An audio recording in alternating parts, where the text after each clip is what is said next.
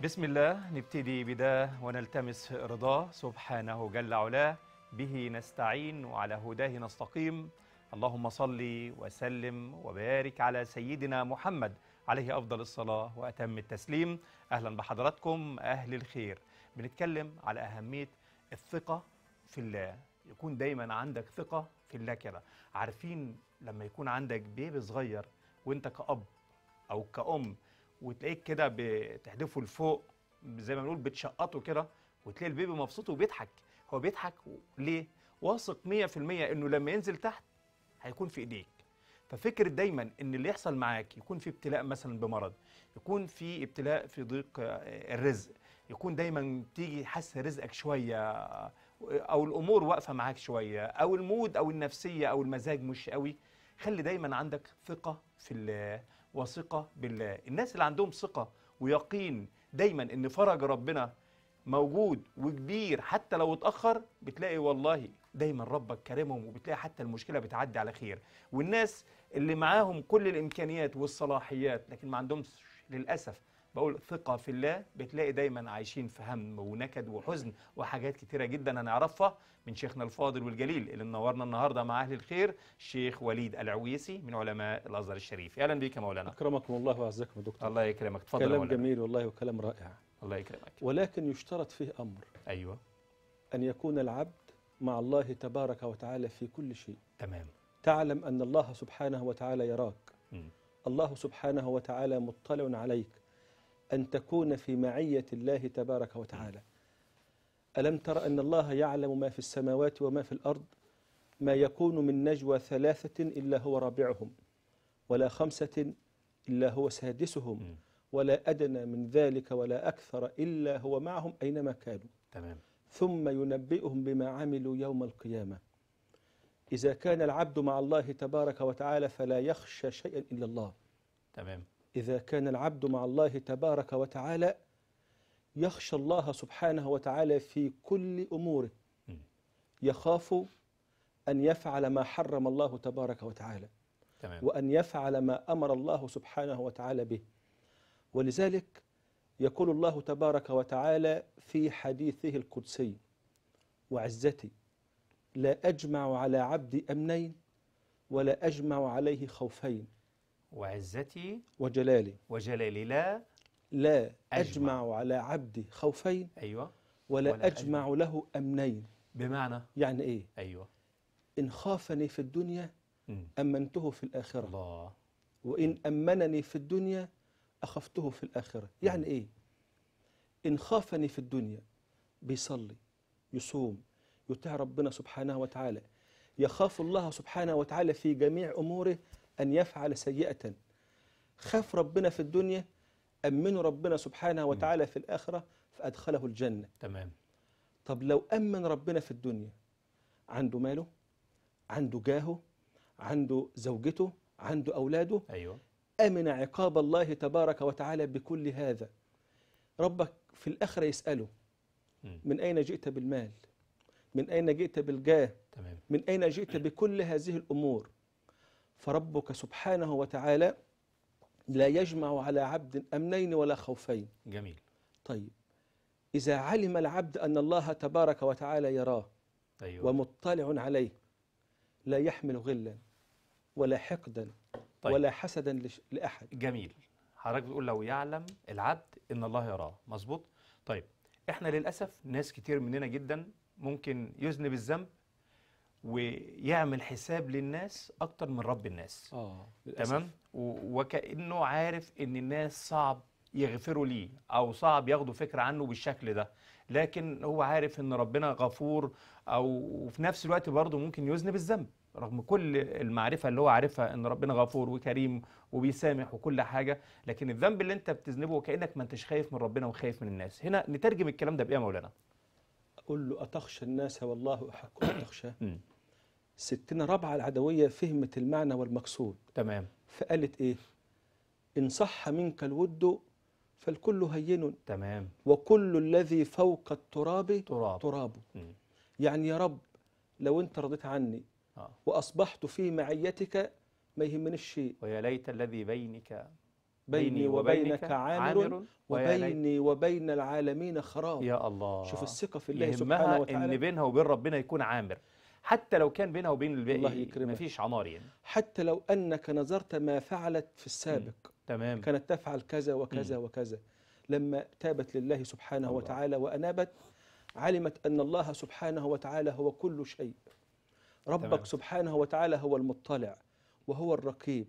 جميل. إذا علم العبد هذا الأمر أصبح إيه؟ أصبح مفتاح للخير مغلاق للشر. ربنا يكرمك يا مولانا وربنا يا رب. يجعلنا كده مفاتيح للخير ومع أهل الخير دايما مكملين معاكم. معانا دلوقتي تقرير عن المسجد الكبير اللي موجود في قرية أبو المعاطي الباز مركز بني عبيد في محافظة الدقهليه هنشوف المسجد محتاج لإيه ونرجع نكمل بإذن الله مع أهل الخير.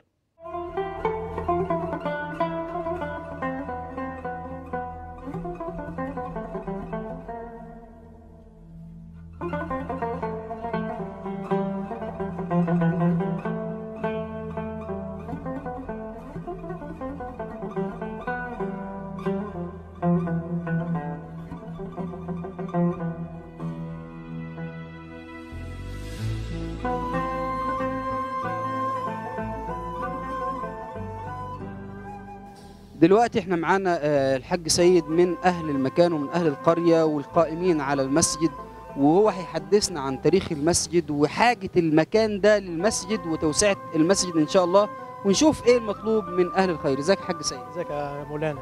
كل سنة وحضرتك طيب يا باشا؟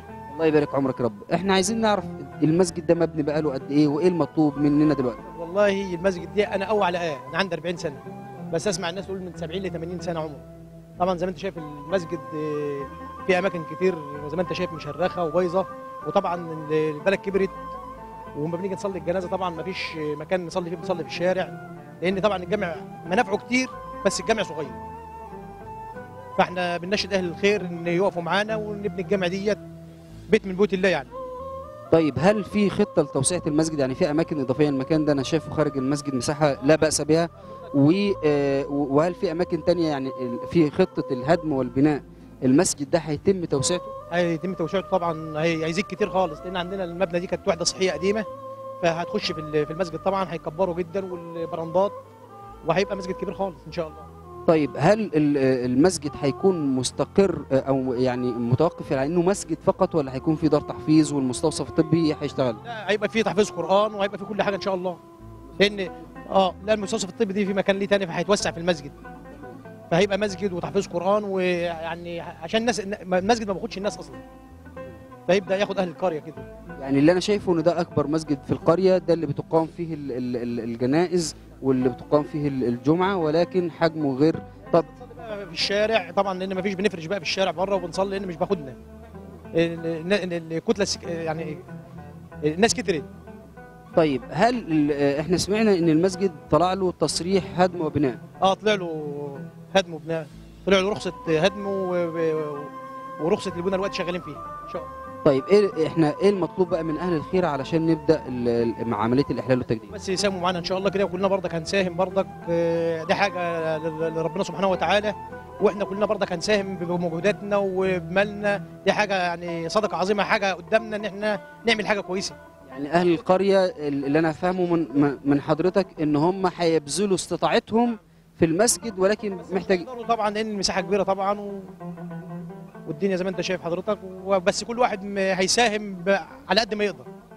يعني إحنا إحنا شايفين الصدق في كلام الحاج سيد وأي حد هيجي يزور المسجد هنا هيلاقيه موجود إن شاء الله و- آه، وهيستقبله. والمسجد طلع له تصريح الهدم والتصريح البناء بيخرج على طول في وقت سريع إن شاء الله. فاحنا محتاجين من أهل الخير يعني يساهموا معانا. أهل القرية هيبذلوا آه، جهدهم وبيبقوا يعني بي يعني قاعدين للمسجد وكمان اللي هيقدر يساهم بجزء من المال أو بأي حاجة تساعد مع المسجد مش هيتأخر ولكن ده هيكون غير كافي لأنه لو كان ده متاح كان زمانهم عملوا عملية الإحلال والتجديد بدون ما يلجأوا لجمعية عمر بن عبد العزيز أو يناشدوا أهل الخير. وده باب من أبواب الخير وإحنا بنوعد الحاج سيد إن شاء الله في القريب العاجل. هننزل لاحلال وتجديد المسجد الكبير بإذن الله. عاوزين نوجه رسالة لأهل الخير هل آه، هيجي هنا المسجد أو يتصل بجمعية عمر آه يشرف في أي وقت هتلاقينا متواجدين ويتبرع في المحجر هنا هو كلنا هنتبرع برضك وهنجيب اللي عايز يجيب أسمنت اللي عايز يجيب طوب. المسجد بتاع المحجر موجود اللي هيحط حاجة يحطها بإيده عشان يبقى متأكد انها تتحط هنا. عايز يحط طوب يحط أسمنت المحجر قريب مننا جدا. جميل جدا يعني ممكن المتبرع يجي يروح ال... طن حديد آه يعني يحجز مثلا أنا عاوز 3 4 طن حديد نعم. على حساب المسجد. عايز على كم استطاعته. أسمنت على الحساب استطاعته على استطاعته بالنسبة للأكل إحنا كل أهل البلد هي برضك بالنسبة للأكل هي كله هيطلع كل واحد هيبقى عليه أكل يوم والناس مش متأخرة خالص. نفسهم المسجد يتبنى بس. إن شاء الله يعني الرسالة واضحة وإن شاء الله قريبا هنشوف حضراتكم هنا في المسجد واتصالاتكم الأرقام واضحة قدامكم على الشاشة وكلنا ثقة. إحنا آه، مقبلين آه على رمضان باقي شهور قليلة ولكن إن شاء الله في أسرع وقت هيتم عملية الإحلال والتجديد. المسجد الناس محتاجاه فعلا لأن هو المسجد الكبير بس اتبنى من سنين كتير فحجمه بقى صغير بمقارنة عدد السكان. لذلك في صلاة الجمعة بيكونوا في الشارع وفي صلاة الجنازة بيكونوا في الشارع. هذا لا يرضي الله عز وجل ولا يرضي المؤمنين. وإن شاء الله عز وجل في القريب العاجل هنلاقي المسجد ده في أفضل صورة بإذن الله.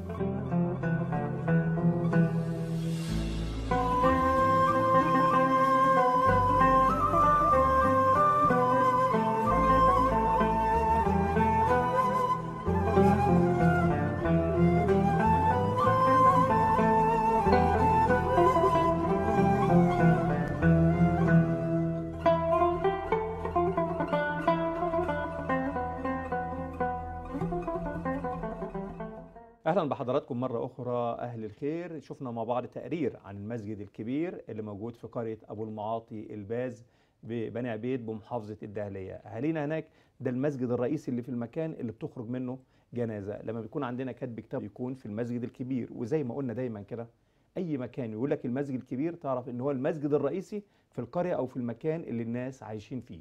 المسجد هنقول متاح الناس تصلي فيه لكن الكثافة السكانية بقت أعلى بكتير. المسجد مبني بقاله سنين وسنين وسنين وعفى عليه الزمن. فأهالينا محتاجين إن يتم هدم المسجد الكبير وخصوصا إن في مساحة حوالين المسجد ممكن أهالينا هناك يستفادوا بيها. طيب أهل الخير موجودين؟ بإذن الله موجودين. أي حد عايز يساهم في إعادة بناء المسجد الكبير مرة أخرى من خلال الأرقام اللي موجودة أمام حضراتكم على الشاشة من خلال مؤسسة عمر ابن عبد العزيز.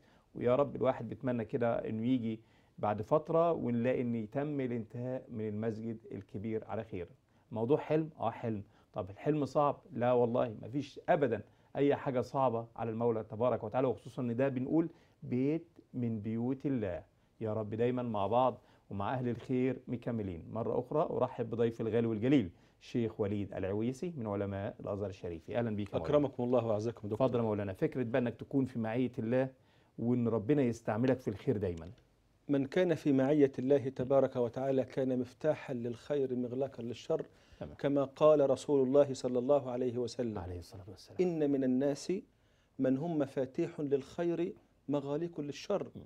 وإن من الناس من هم مغاليق للشر مفاتيح للخير. م. فطوبى لمن كانت مفاتح الخير على يديه وويل لمن كانت مفاتيح الشر على يديه. يا الله. طوبى في الجنة الله. وويل وادي في جهنم. آه، سبحان الله، الله. شوف شوف انت عايز تختار إيه وشوف سيدنا النبي والمولى تبارك وتعالى. يعني انت من اي فريق ربنا يا رب يجعلكم من أهل الخير دايما. اتفضل يا مولانا. وربنا سبحانه وتعالى جعل أولياءه يحبون المساجد. مم. دايما الإنسان المتقي لله تبارك وتعالى الذي يعيش مع معية المولى تبارك وتعالى دائما وأبدا يعيش في بيت الله. تمام. متعلق قلبه ببيت الله تبارك. وتعالى. بيت الله سبحانه وتعالى لا يبنى رفاهية. تمام. لأن بيت الله سبحانه وتعالى هو روضة من رياض الجنة. مم. شيخ هذه الروضة هو رسول الله صلى الله عليه عليه وسلم الصلاة والسلام. تلاميذ هذه الروضة عمر وأبو بكر وعثمان وعلي وأحسن الصحابة عند رسول الله صلى الله عليه وسلم هم تلاميذ هذه الروضة عليه الصلاة والسلام طب إيه المواد المكررة؟ أيوه كتاب الله تبارك وتعالى مم. الوحي المنزل من السماء طب إيه الشهادة اللي هياخدها؟ الشهادة هي إيه؟ أن تكون كلمة الله هي العليا مم. دكتور محمد المسجد هو صلة بين العبد وبين ربه تبارك وتعالى طب إذا انقطعت هذه الصلة أيوه. يبقى العبد انتقل إلى رحمة الله تبارك لا وتعالى إله إلا الله. رسول الله صلى الله عليه وسلم عليه الصلاة والسلام. يمر على قبر فيسأل من صاحب هذا القبر؟ فقالوا يا رسول الله فلان. فقال صلى الله عليه وسلم عليه الصلاة والسلام. ركعتان أحب إلى هذا من دنياكم. مم. تاني ركعتان, ركعتان في مسجد أحب إلى الله أحب إلى هذا دنياكم. الميت أيوه. من دنياكم. يا الله. وكأن الميت يريد أن يرجع إلى الدنيا مرة أخرى عشان ركعتين. فيصلي ركعتين فقط. لله تبارك وتعالى. ورسول الله صلى الله عليه وسلم. يبينها لأصحابه إن كل الدنيا اللي أنت عايش عليها دهيت ركعتين بس أفضل من هذه الدنيا أفضل من المال وأفضل من الجاه وأفضل من البنون وأفضل من الزوجة. إذا بيت الله تبارك وتعالى لابد أن يكون له دورا عظيما في هذا المجتمع. تمام. أحد المستشرقين بيقول إيه؟ بيقول ما يزال المسلمون في قوة لو عندهم حاجتين. أيوه. المسجد وكتاب الله تبارك وتعالى. المسجد وكتاب ربنا. أيوه. ما زال المسلمون في قوة ومنعة وحصن إذا كان عندهم شيئين. وهم الشيئين دولت بيت الله تبارك وتعالى وكتاب الله سبحانه علشان كده سيدنا النبي عليه الصلاة والسلام بيقول تركت فيكم. ما إن تمسكتم به تمام. لن تضلوا بعدي أبدا. أيوه. كتاب الله وسنة. وسنة رسول الله. صلى الله عليه وسلم. المستشرقين بيترجموا كلام سيدنا النبي عليه الصلاة والسلام. المستشرقين عندهم علم أكتر ما عند المسلمين. تمام. بس للأسف الاستشراق أيوه. دايما بيكون في صالح المستشرق. صحيح. عايز يطلع أي أخطاء في الإسلام. صحيح. دايما بينظر إلى الثغرات ثم يبينها للعامة. تمام. ده هو المستشرق. مم. لأنه ينظر إلى الشرق ينظر إلى الإسلام ينظر إلى حضارة الشرق. مش كلهم. بس في ناس ربنا سبحانه وتعالى بيهديهم إلى الإسلام فيأسلموا. صحيح. لكن دور المسجد والله يا دكتور دور عظيم جدا. مم. فما بالك إن كان المسجد نفسه مش موجود؟ مم. إن كان المسجد مهدم. إن كان المسجد ما تقدرش تأدي فيه الصلوات. وجربنا التجربة دي أيام فترة الله فيروس كورونا يعني. الله يكرمك. كلنا بلا استثناء كنا محرومين من المسجد في الصلاة. كنا حاسين بقد إيه؟ ب- بمعنى الحرمان الحقيقي.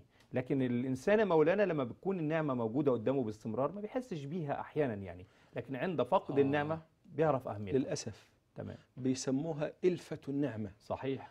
الإنسان ألف كل يوم إنه يستنشق. فخلاص كده بالنسبة لي. يتكلم. إنه يرى. طب لو فقد نعمة من نعم الله تبارك وتعالى عليه. يعمل إيه؟ شو ألم ترى أن الله ال- سخر لكم ما في السماوات وما في الأرض؟ الله. وأسبغ عليكم نعمه أيوه. ظاهرة. وباطنة. ولكن للأسف من الناس من يجادل في الله بغير علم ولا هدى ولا كتاب منير. إحنا ألفنا النعمة لكن إذا فقدت منا أيوه. نرجع إلى الله تبارك وتعالى. مم. ليه يا رب خدت سمعي ولا بصري ولا جسمي ولا ابتلتني بمرض. طب ما هو ربنا سبحانه وتعالى قال لك في الأول أدي شكر الله تبارك وتعالى لهذه النعم. تمام. طب ربنا أعطاك نعمة المال. كيف أؤدي شكر نعمة المال؟ سؤال جميل جدا إن حضرتك بتقول لو في نعمة وخصوصا نعمة المال إزاي ادي شكر هذه النعمة العظيمة لو كانت في مكانها؟ تمام. لكن أستأذنك وأستأذن المشاهدين المحترمين معانا أيضا تقرير عن مسجد الرحمن اللي موجود في قرية الوفاء بمدينة آه، العمرية بالإسكندرية. هنشوف المسجد محتاج إيه آه، وخصوصا إن اهلنا هناك في قرية الوفاء يعني امكانياتهم المادية محدودة. لكن لابد من هدم المسجد وإعادة بناؤه مرة أخرى وحضراتكم أكيد هتشوفوا إيه اللي بيحصل في التقرير ونرجع نكمل معاكم بإذن الله مع أهل الخير.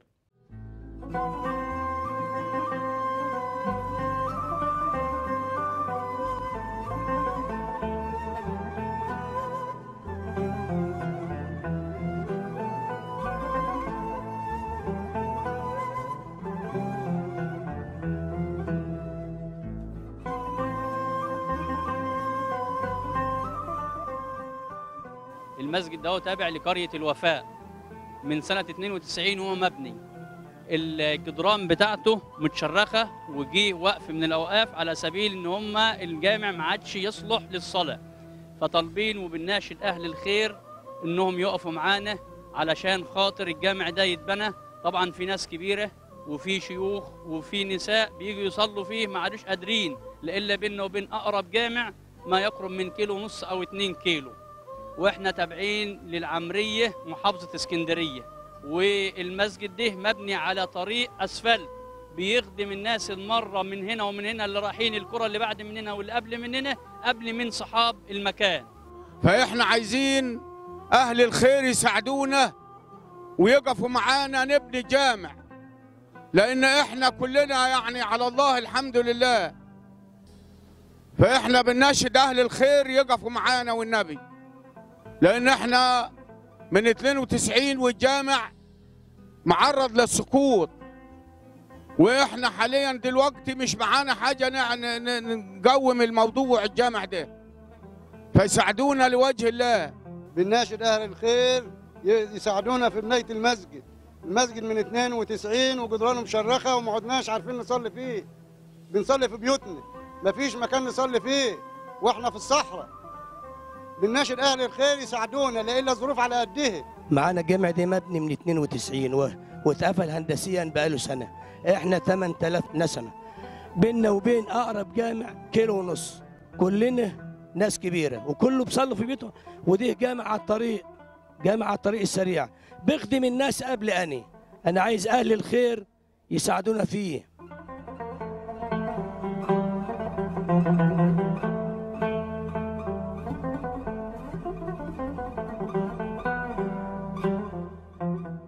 إحنا بنطالب أهل الخير لأن هم يساعدونا في بناء المسجد. إحنا قرية كبيرة جدا يعني حوالي 8000 نسمة أو 9000 نسمة. وهنا الناس مش مش قادرة اللي هي يعني تبني المسجد ده أو تقوم ببناء المسجد. فاحنا بنطالب أهل الخير اللي هم يقوموا معانا ببناء هذا المسجد. لأن هنا الناس كلها على الله وناس كلها بتشتغل على دراعها. فاحنا بنطالب أهل الخير ببناء المسجد. المسجد ده يعني مبني من 92 والمسجد يعني هائل للسقوط والناس مش قادرة الناس الكبيرة الناس المسنة مش قادرة اللي هي تطلع تصلي في القرى المجاورة لأن القرى المجاورة بعيدة عن المكان بحوالي 2 كيلو ماشي؟ فإحنا بنطالب أهل الخير يعني رأفة يعني بالناس الكبيرة بس إحنا بنطالب ال- الناس الكبيرة اللي هي تطلع حتى تصلي في في المكان اللي إحنا مقيمين فيه.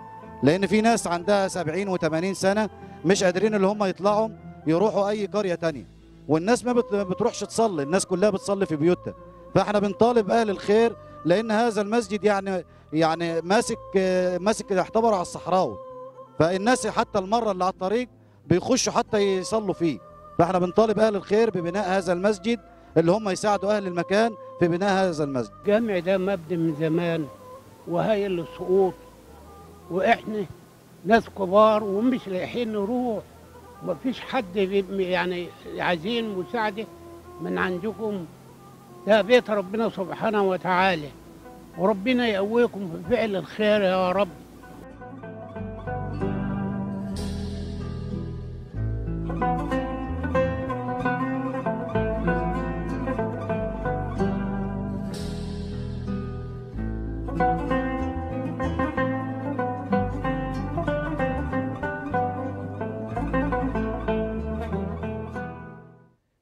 حضراتكم كده شفتوا تقرير عن مسجد الرحمن اللي موجود في قرية الوفاء بالعمرية بالإسكندرية.